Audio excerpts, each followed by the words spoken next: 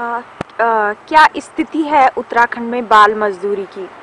अभी की स्थिति में लगभग सतहत्तर हज़ार जो हैं बाल मजदूर उत्तराखंड के अंदर हैं और यही 10 साल पहले 2001 की जनगणना के अनुसार उत्तराखंड में सत्तर हज़ार बाल मजदूर थे।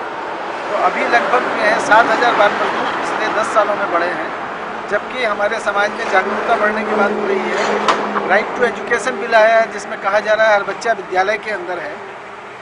तो ये देखने का प्रश्न है कि अगर हर बच्चा विद्यालय में है तो सात हज़ार बच्चे कैसे बाल मजदूरी में बढ़ गए? पिछले दस वर्षों में। तो ये बड़ा प्रश्न है।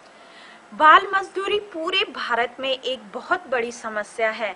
मेरे उत्तराखंड के पौड़ी क्षेत्र में भी आपको कई बाल मजदूर ढाबों, कपड़े की दुकान और मोटर बाइक का काम करते हुए दिख जाएँगे।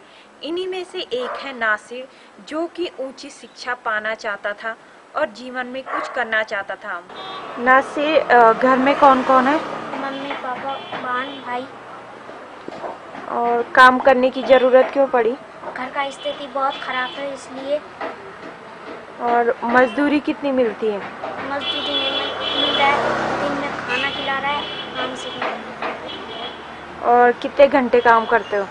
छः घंटे। कभी पढ़ने के बारे में सोचा आगे? सोचा था पर घर का स्थिति बहुत खराब है इसलिए पढ़ने का इच्छा नहीं कर रहा। आगे भविष्य में क्या करोगे?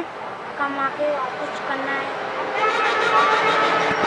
भारत सरकार ने बाल मजदूरी को रोकने के लिए कई कानून बनाए हैं। फिर भी राज्य में बाल श्रमिक देखे जा सकते हैं। मैं चाहती हूँ कि बा, राज्य बाल संरक्षण आयोग के अधिकारी अजय सेतिया को nine four one one one one two zero three zero पर फ़ोन करके मेरे उत्तराखंड के पहाड़ी क्षेत्र पौड़ी में बाल श्रम बाल श्रम पर तुरंत रोक लगे। इंडिया अनहर्ड और वीडियो वॉलेंटियर के लिए पौड़ी से मैं लक्ष्मी नोटियाल।